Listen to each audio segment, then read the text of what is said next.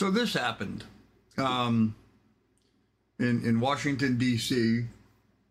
A um, high school choral group went into one of our national monuments and um, and sang. And um, I just I just wanted to include it here. I, I just wanted to include it here. Um, take a moment and and think about uh, my country and my patriotism, my love for America, and how we need to get into our lexicon, our everyday being. We have to get back to some patriotism. We have to get back to in God we trust. We need to get back to uh, a pledge of allegiance and build a little esprit de corps for America. Because um, too many people are losing are losing that, and so our our culture are, is is losing its identity to some degree, an identity that I don't want to see lost. So if I can, in in some little way, bring back some of that or remind people of that, well, then that's well spent time on my part. So, um, in any event, uh, here we go. Give us a thumbs up, like, subscribe, ring a ding a ding a ding a ding a the bell, and let's get into this.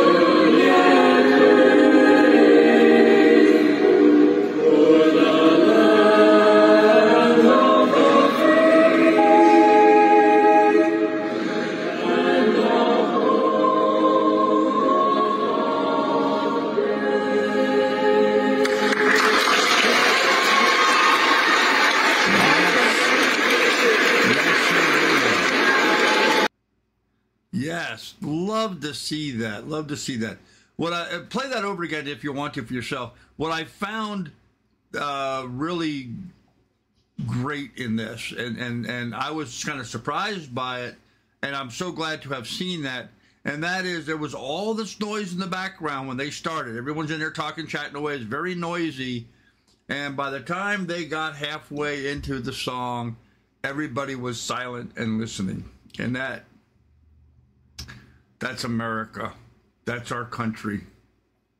That's showing that's showing respect. And it's sad to say it wasn't all that long ago. We had a similar situation, something like that happened, and uh, the cops came in and made them leave. So I'm glad that didn't happen this time. But uh, yeah, that was beautiful.